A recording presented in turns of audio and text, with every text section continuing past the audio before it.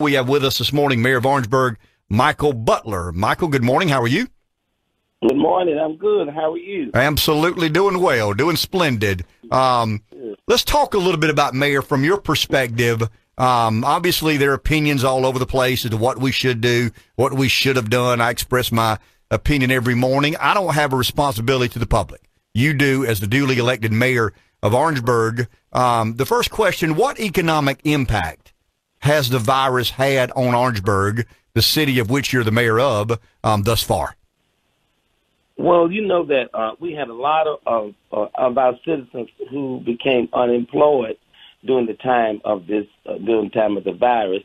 I mean, none of no no city had time to get ready for it because when we knew anything, it was upon us, and um, and and we had a lot of stores closed and businesses down down uh, during that time. So it had a great economic impact on on Orangeburg in this light that you know no business license was uh, being able to to purchase a lot of business uh, license because nobody was doing any any uh, uh, setting up or any work, uh, even with construction construction sites was closed down. So that was that had a, a, a that was a great um, impact on us also. Mayor, as we begin trying to get ready to open back up, different states are doing it at different times. There's a lot of creativity. Um, what would you perceive the best strategy to be to try to get things opened back up in Orangeburg?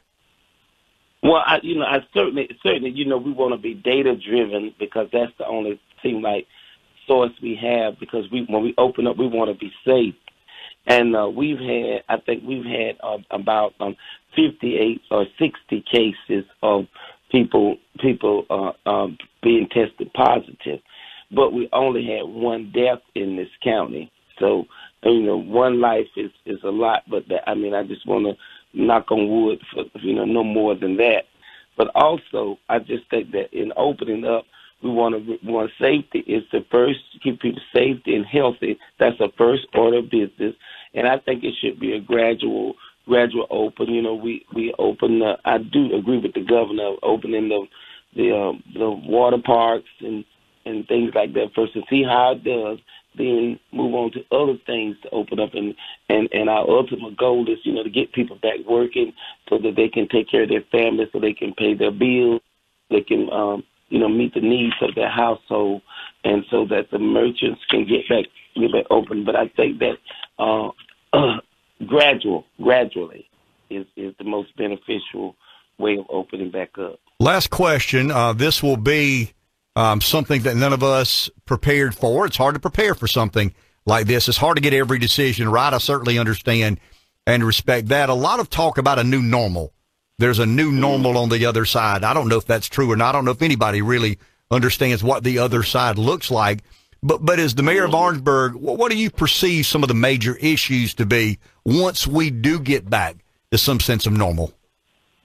Once we get back to some sense of normalcy, I think that um, I think that you know we we go this this this virus has made a great impact on us, and we've had, kind of got used to wearing the mask, mask, kind of got used to spraying the Lysol, kind of got used to washing our hands more than normal. I think that's going to be a way of life for us. I think that's going to be a way of life for us. I think that uh, I think that that uh, we're going to be very careful.